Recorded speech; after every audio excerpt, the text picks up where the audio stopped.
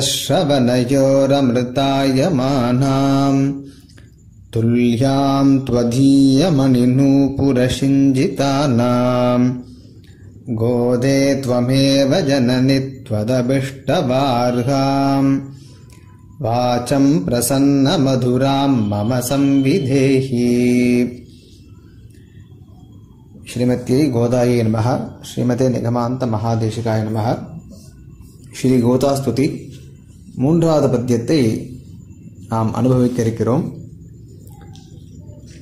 முதல் இரண்டு பத்தியங்களால் கோதையை கோதா பிராட்டியை சரணமடைந்து மௌனமாக இருக்க தாம் ஆசைப்பட்டாலும் ஸ்ருதிகளுக்கு கூட அப்பாற்பட்ட குண வைபவங்களை உடைய கோதா பிராட்டியை நாம் ஸ்துதி பண்ண முடியாதுன்னு மௌனமாக இருந்தால் கூட அந்த குணங்களே சுவாமி தேசிகனை தம்மை துதி பண்ணுமாறு துதி பண்ணுமாறு தூண்டுகின்றன அழகாக சாதிச்சார். நல்ல சிறந்த கவிகளுக்கு அவ எழுதக்கூடிய காவியத்துக்கு லட்சியமாக ரொம்ப வசத்தியான விஷயங்களை எதிர்பார்ப்பாள் சாதாரணமாக இருக்கக்கூடிய கவிகள் தான் எதவனை பற்றி எழுதுவா? ஏன்னா அவளுடைய திருஷ்டி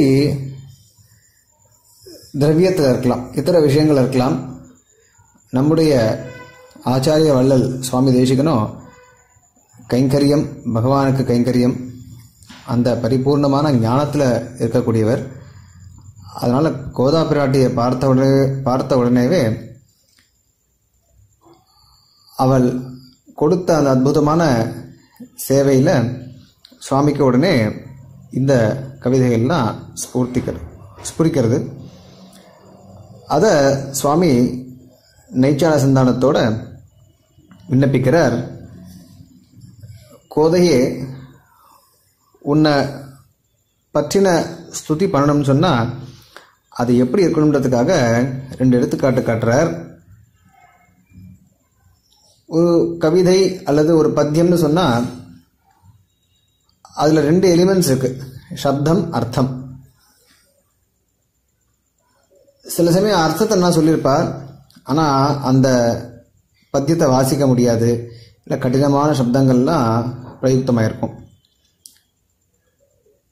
இல்லை சப்தங்கள் ரொம்ப அற்புதமாக போட்டிருப்பா ஒரு அர்த்தமாக அதில் ஒன்றும் நம்ம தீர்மானம் பண்ண முடியாது. இல்லை அர்த்தமே இல்லாமல் கூட இருக்கலாம். சப்தம் கேட்க கேட்கறதுக்கு இனிமையாக இருக்கணும். எப்படி இருக்கணும்னு சொன்னால் பிராட்டியினுடைய கொலுசு மணிநூபுரம் அல்லது ரத்ன சிலம்பு அதில் காதில் காலில் போட்டுருப்பா இல்லையா? அது நடக்கச்சே ஒரு சப்தத்தை இனிமையான சப்தத்தை எழுப்பும் ஒலி. இது அவ்வியக்தமான சப்தம். அதாவது கேட்கறதுக்கு இனிமை மட்டும்தான் அதில் இருக்கும். அதில் ஒன்றும் கருத்து இருக்காது. ஆனால் சுவாமி விண்ணப் விண்ணப்பம் பண்ணுறார் தான் எழுதக்கூட பத்தியமானது அந்த ஒலியை ஒத்ததாக இருக்கணும்னு.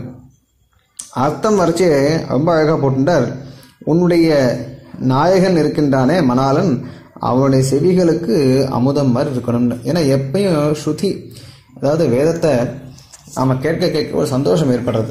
அதை அழகாக நிறுத்தி நிதானமாக சேவிக்கச்சு அதில் இருக்கக்கூடிய ஸ்வர விசேஷங்கள்னால அது கேட்கறதுக்கு ரொம்ப ஆச்சரியமாக இருக்கும்.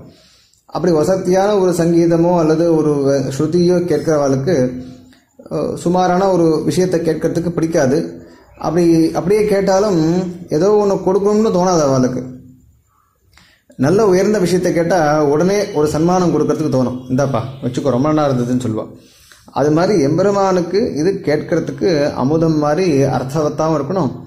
அதே சமயத்தில் நல்ல சப்தங்களும் நல்ல பிரயோகமாக வரணும்னு அதுக்கு ஏற்ற மாதிரி அந்த கோதா ஸ்ருதியானது ரொம்ப அற்புதமான ஒரு ஸ்துதி. நம்முடைய சுவாமியினுடைய ஒரு மேதாவிலாசம் பொதுவாக இன்னைக்கு விஞ்ஞானத்தை கூட சொல்கிறா ரைட் பிரெயின் லெஃப்ட் பிரெயின் சொல்கிறா லெஃப்ட்டுக்கு வந்து இமேஜினேஷன் ரைட்டுக்கு வந்து அந்த மேத்தமேட்டிக்கல் பிரெயின் சொல்கிறா அதான் நியாயம் லாஜி லாஜிக்கல் மைண்டுன்றா இதில் சில பேருக்கு சில விஷயம் சில அம்சம் டாமினேட்டிங்காக இருக்கும். லாஜிக்காக லாஜிக்கலாக இருக்கிறவளாம் ரொம்ப ட்ரையாக இருப்பாள் லைஃப்பில் அவளுக்கு எதையும் ரசிக்க தெரியாது. அவளால் கவிதையெல்லாம் பண்ணுறது ரொம்ப கஷ்டம். இல்லை கற்பனா சக்தி ஜாஸ்தி இருக்கிறவளுக்கு லாஜிக்கல் திங்கிங் லேக்கிங்னு சொல்கிறேன் ஆனால் நம்ம சுவாமியை பாருங்கோ அவர் கவி தார்க்கிக சிம்மம். கவிதை பண்ணுறவாள்லையும் அவர் சிம்மம். தர்க்கம் பண்ணுறவாள்லையும் அவர் சிம்மம். அது அற்புதமான அவர் கண்டாவதாரம். இப்போ இந்த பத்தியத்தை பார்க்கச்சு ஜனனி கோதைன்னு போட்டுட்டார் ஏன்னா பிரார்த்தனை பண்ண போகிறார் பிராட்டியை பிரார்த்திக்கும் போது தாயேன்னு சொல்லிட்டா உடனே அவ- அவ அவள் இடத்துல இருக்கக்கூடிய அந்த தாய்மையை வெளிப்பட்டுடும். கேட்டதை கொடுத்துருவா. அதனால் ஜனனி. ஜனனின்றது பிரதமா விபக்தி ஜனனி இது சம்போதனம். ஜனனி கோதே. கோதான்றது பதம். கோதே சம்போதன பதம். கோதான்றது பிரதமா விபக்தி கோதேன்றது சம்போதனம். ஜனனி கோதே அல்லது கோதே ஜனனி. சம்விதேகி. விதேகின்னு சொன்னால் கொடுன்னு அர்த்தம். லோட்ல காரம் அது. சம்யக்கு நன்றாக கொடு. விதேகி. பிரார்த்தனை அது. எதை கொடுக்க வேண்டும் கேட்டால் வாச்சம் வாக் வாச்சோ வாச்சகன்னு வாச்சம்னா வாக்கை அப்படின்னு அர்த்தம். ஸ்ரீலிங்க சப்தம் வந்து வாக்கை. வாக்கை நன்றாக எமக்கு அளிக்க வேண்டும். யார் இப்போ சம்விதேகின்னு சொன்னதுனால தொம் பதம் போட வேண்டாம். நீன்ற தெரிஞ்சிடும் கொடுன்னு சொன்னால் நீ தான் எதிர்க்கிறவளை பார்த்தா கொடுன்னு சொல்ல முடியும். ஆனால் இங்கே என்ன பண்ணாருன்னா தொமேவ சம்விதேகின்னு போட்டார். நீயே கொடுக்கணும்னு போட்டார். ஏன்னா யாரையாவது விட்டு விட்டு கொடுக்க சொல்லலாம். நீயே ஏன் உன்னை பற்றி ஸ்துதி பண்ண போகிறேன் அப்போ நீயே அந்த பதங்களையும் சொல்லிட்டேன்னா என் காரியம் ரொம்ப சுலபமாக போயிடும். அழகாக அந்த பதங்கள்லாம் கோத்து ஒரு மீட்டரில் செட் பண்ணி பண்ணிடலான்ட்டு. ஏன்னா லோக்கத்தில் பாருங்கோ லௌகிகமாக சொல்கிறதா இருந்தால் டியூன் ஒருத்தர் போடுறார் வார்த்தை ஒருத்தர் எழுதுறார். ரெண்டு பேருக்கும் ரெண்டும் வராதுன்னு வச்சுப்போம். அப்போ இந்த ரெண்டும் செட் ஆகணும் நன்னா. அதுக்கேற்ற மாதிரி அப்போ அந்த பதப்பிரயோகம் ரொம்ப நன்னா வரணும். அதுக்காக கோதையே விஞ்ஞாபனம் பண்ணிடுறார். அந்த பதங்களை வாக்கை எனக்கு கொடு. மம சம்விதேகி. எனக்கு மமனா மஹ்யம் மம ரெண்டும் மியூச்சுவலாக பயன்படுத்தலாம். மம துவமேவ சம்விதேகி. நீயே கொடுக்க வேண்டும். எப்படிப்பட்ட வாக்கு அப்படின்னு கேட்டால் துவத்து அபிஷ்டவ அருகாம் துவதபிஷ்ட வாருகாம்னு இருக்கு. பத்தியத்தில் துவத்து அபிஷ்டவ அருகாம் அருகாம் அருகத்தை உடையதுன்னு அர்த்தம். ஏற்றன்னு அர்த்தம். வாச்சம்க்கு அருகாம்ன்றது விசேஷனம். வாச்சம் ஸ்ரீலிங்கமாக்கறனால அருகாம் அருகத்தை உள்ள அதுவும் தித்தியா பக்தி ஏக்கவச்சனம். எதற்கு ஏற்றதான்னு கேட்டால் துவத்து அபீஷ்டவ. அபீஷ்டவனா ஸ்துதி பண்ணுறது துவத்துனா உன்னுடைய. அது துவத பிஷ்டவன்னு சந்தினால் ஆயிடுது அப்போ உன்னை துதிப்பதற்கு ஏற்றமுடைய வாக்கை நீயே எனக்கு கொடுக்க வேண்டும். ஏன்னா பெரியவாகிட்ட போய் நம்ம பொதுவாக விஞ்ஞாபனம் நினைச்சப்ப ரொம்ப ஜாக்கிரதையாக பேசணும். சரியான பதங்கள் நம்ம பயன்படுத்தணும். நம்ம விட கீழே இருக்கவாக்கிட்ட எப்படின்னா பேசிடலாம். அப்புறமா ஜாக்கிரதையாக அப்ரோச் பண்ணணும். அதை நம்ம காண்பிக்கிறார் சுவாமி. கோதபிராட்டி கிட்ட அவளை துதிப்பதற்கு அவளிடமே அந்த வாக்கை பிரார்த்திக்கிறார். எப்படி இருக்கணும்? அந்த வாக்கு அதுக்கு தானே சொல்லிடுறார். இப்படி இருக்கணும்னு. துவதீய மணி நூபுர சிஞ்சிதானாம் துல்யாம் துவதீயன உன்னுடையது. அஸ்மதீய துவதீய மதிய. துவதீயன உன்னுடையது மதியன என்னுடைய. மணி நூபுர மணி நூபுரதாரின்னு பாட்டோட கேள்விப்பட்டிருக்கோம். அந்த ரத்தன இருக்கணும் நூபுரம் சொன்னால் அந்த சிலம்பு அந்த காலில் அணியக்கூடிய ஒரு ஆபரண விசேஷம் வச்சுக்கலாம். அதை போட்டு நடக்கச்சே அழகாக ஒரு அது சப்தத்தை எழுப்போம். அந்த சப்தம் கேட்கறதுக்கு ரொம்ப இனிமையாக இருக்கும். அதை ஒத்த. ஷிஞ்சிதானாம் துல்யாம் ஷிஞ்சிதான்னு சொன்னால் அது சப்தம். ஷிஞ்சிதானாம் அந்த ஒலிகளுக்கு ஷிஞ்சிதம்னா சப்தம். ஷிஞ்சிதான்னு அந்த ஒலிகளுக்கு சமமான. துல்லியாம்னா மறுபடியும் இது துல்லியாம் அருகாம் வாச்சம். அவைகளுக்கு ஒத்ததாக இருக்கக்கூடிய உன்னை துதிப்பதற்கு ஏற்றதாக இருக்கக்கூடிய வாக்கை. மேலும் தொத் பிரேயசக ஸ்ரவணயோகோ அமிர்தாயமானாம். தொத்து பிரேயசக பிரேயான் அப்படின்னா விருப்பப்பட்ட விரும்பின அர்த்தம். அதாவது இங்கிலீஷில் டியர் அப்படின்னு சொல்கிறோமா இல்லையா? அந்த அர்த்தம். இங்கே நாயகன். பிரேயான்னு சொல்கிறதுக்கு பிரேயசகன்றது நாயகனுடைய ஷஷ்டி விபக்தி ஏகவச்சனம். துவது பிரேயசகன்னு சொன்னால் உன்னுடைய நாதன் அவனுக்கு ஸ்ரவணயோகோ அல்லது அவனுடைய செவிகளுக்கு ஸ்ரவண யோகம் ஸ்ரவணம்னு சொன்னால் இயர் இஏஆர் ஸ்ரவண யோகோன்னு சொன்னால் ஷஷ்டி பக்தி த்விவச்சனம் சம்பந்தம். அவனுடைய திருச்செவிகளுக்கு அமிர்தாயமானாம். அமிர்தாயமான்றது ஒரு பிரயோகம். அமுதத்தை போன்றதாயின் அர்த்தம் அதுக்கு. தட் விச் டிரான்ஸ்ஃபார்ம்ஸ் இன்டு அமிர்தம் வச்சுக்கலாம். அமிர்தாய மானாம்னு சொல்லிச்சு அமிர்தாயத்தே அப்போ அமிர்தாய மானா அமிர்தாய மானாம் இதுவும் வாச்சம்க்கு விசேஷம். அமிர்தாய மானாம் துல்லியாம் அருகாம் வாச்சம் அப்படின்னு சொல்லணும் உன்னுடைய நாயகனுக்கு அவனுடைய திருச்செவிகளுக்கு ஒரு அமுதத்தை அமுதம் போன்றதாக இருக்கக்கூடிய ஒரு வாக்கு எனக்கு வேண்டும். அந்த சப்தம் அது அதை அதை வாசிக்கச்சே ஒரு நல்ல இனிமை ஏற்படணும்.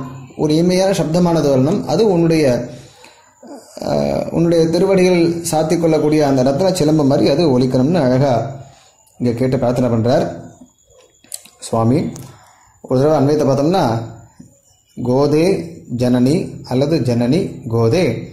त्वत् प्रेयसः श्रवणयोः अमृतायमानां त्वदीयमणिनूपुरसिञ्जितानां तुल्यां त्वदभिष्टव अर्हां प्रसन्नमधुरां வாச்சம் மம துவமேவ சம்விதேகி பிரசன்ன மதுராம்ன்றது விட்டு போயிடுது பிரசன்னன்னு சொன்னால் தெளிவாக இருக்கிறது ரொம்ப ப்ளசண்ட்டாக க்ளீனாக இருக்கிறது அதாவது ஒரு அர்த்தத்தை சொன்ன உடனே ஸ்புரிச்சு உடனே அதுக்கு உண்டான ஒரு பதில் வரணும் மதுரம்னு சொன்னால் இனிமையாகவும் இருக்கிறது இப்போ கிளியராக இருக்குன்றது வந்து இனிமை இல்லாமல் இருக்கலாம் இனிமையாக இருக்கிறது கிளியராக இல்லாமல் இருக்கலாம். அதுக்காக எல்லா விசேஷத்தையும் போட்டுக்கிறார். ஏன்னா காவியங்களில் வரைச்சே ஒரு ஒரு தேசத்துக்கு ஒரு ஒரு இது உண்டு. விசேஷம் உண்டு. தெற்கத்தில் தெற்கு பக்கத்தில் இருக்கவாளுக்கு ஒரு மாதிரி பேசுவா. கௌடியால்னு பெயர் நார்த் ஈஸ்ட் இருக்கிறவாள்லாம் அவள் ரொம்ப டைரக்டாக இருப்பாள் சப்தாடம்பரம் சொல்லுவாள் அதாவது ரொம்ப சப்தம் நிறைந்ததாக இருக்கும். அது மாதிரி ஒருத்தர் ஒரு ஒரு தேசத்துக்கு ஒரு விசேஷம் உண்டு. அந்த மாதிரி வரைச்சு சுவாமி மதுரமாகவும் பிரசன்னமாகவும் இருக்கணும்னு வைதர்ப்பத்துக்கு ஒரு ஸ்டைல் உண்டு. அதை நம்ம போகலை. ரொம்ப பெருசாக போயிடும். உபன்யாசம் எல்லாம் போயிட்டு சொன்னோம்னா. ஆக மொத்தம் பிரசன்ன மதுராம்னு சொல்லிச்சு. தெளிவோடு இருக்கணும். நல்ல இனிமையாக இருக்கணும். அப்படிப்பட்ட வாக்குன்னு. அதுவும் பிரசன்ன மதுராம்ன்றதும் அந்த வாட்சமுக்கு விசேஷனம். ஒரு அர்த்தத்தை பார்த்தோம்னா ஜனனி கோதே தாயே கோதையே கோதையே தாயே துவத் பிரேயசக உன்னுடைய நாயகன நாயகனுடைய சிரவணயோகோ திருச்செவிகளுக்கு அமிர்தாயமானாம் அமுதம் போன்றதாய் துவதீய மண்ணூபுர சிஞ்சிதானாம் துல்யாம் உன்னுடைய அந்த ரத்தின ஆபரணம் இருக்கு திருவள்ளுவர் சேர்த்தக்கூடிய ரத்தின ஆபரணம் ஆபரணம் இருக்கு அதனுடைய ஒலிகளுக்கு அதை எழுப்பக்கூடிய சப்தத்துக்கு ஒத்த துல்யாம் அபிஷ்டவ அருகாம். உன்னை துதிப்பதற்கு ஏற்றதாக இருக்கணும். அந்த அர்த்தவத்தாக இருக்கணும். பிரசன்ன மதுராம். அதே சமயத்தில் நம்ம கேட்கறதுக்கு கே- சொன்ன உடனேவே அது ஒரு காரியத்தை சாதிச்சு கொடுக்கணும். அப்படி உன்னுடைய உன்னுடைய உன்னுடையதான உன்னுடைய நாயகனுடையதான கருணையை அருளை எனக்கு அது பெற்றுத்தர வேண்டும். அப்படிப்பட்ட வாச்சம் வாக்கை மமன எனக்கு துவமேவ சம்பிதேகி. நீயே கொடுத்து அருள வேண்டும்னு ரொம்ப சமத்காரமாக இந்த மூன்றாவது பத்தியத்தில் இந்த கோதாஸ்வதியை பூர்த்தி பண்ணுறதுக்கு தேவையான அந்த வாக் சக்தியை நம் சுவாமி கோதா பிராட்டியிடமே பிரார்த்திக்கிறார். அடுத்த அடுத்த பத்தியத்தை அடுத்ததில் அனுபவிக்கலாம்.